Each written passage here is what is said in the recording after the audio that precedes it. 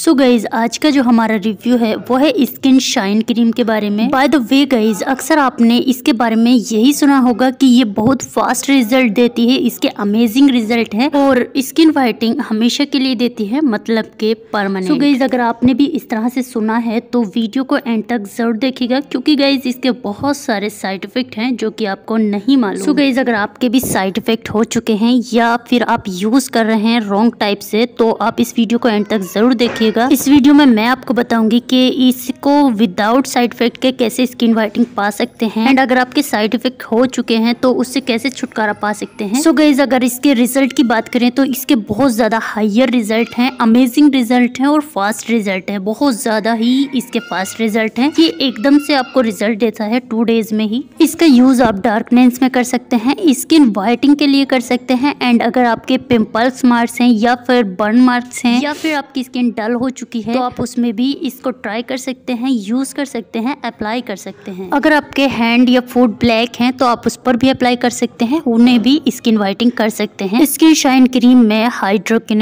Tretinoin मोमेटाशोन जैसे steroid ingredient का इस्तेमाल किया गया है। स्टेरॉइड जैसी क्रीमों का यूज़ करने से हमारी स्किन पे साइड इफ़ेक्ट आ सकते हैं इसीलिए हमें इन्हें देखभाल से और डॉक्टर से कंसल्ट करके ही इस्तेमाल करना चाहिए। चलिए मैं बता देती हूँ इसे किस तरह से यूज़ करना है जिससे कि आपको साइड इफ़ेक्ट नहीं मिले। स्किन वाइटिंग ही मिले। तो सबसे पहले आपको क्या करना है गाइज़ इसका जो इस्तेमाल करना है आपको नाइट में ही करना है। ओनली वन आपको इसको नाइट में ही यूज़ करें डे में इसका यूज़ नहीं करें क्योंकि अगर अगर आप धूप में निकलते हैं इसको यूज़ करके तो आपकी स्किन पे सनटेन हो सकती है और अनदर साइड इफ़ेक्ट भी देखने को मिल सकते हैं। दूसरा आपको ध्यान रखना है, इसे कम क्वांटिटी में ही यूज़ करें, बहुत ही कम क्वांटिटी में। मसाज टाइप से नहीं लगाएँ, इसे बस इजीली लगाएँ और नॉर्मली इसी तरह फुल नाइट छोड़ दें। मॉर्निंग में इसको वॉश करें तो माइल्ड फेस वॉश से ही इसको वॉश करें। किसी भी साबुन या सोप का इस्तेमाल ना करें। अगर आप इस तरह से यूज़ करेंगे तो इसके साइड इफ़ेक्ट से बच सकते हैं। स्किन को स्किन वाइटिंग कर सकते हैं विदाउट साइड इफ़ेक्ट के सो आप इस तरह से इजीली यूज़ कर सकते हैं। अगर आप इसे परचेज करना चाहते हैं। तो इसका price one hundred forty nine rupees है बहुत ही अफोर्डेबल है। आप इसे कहीं से भी परचेज कर सकते हैं।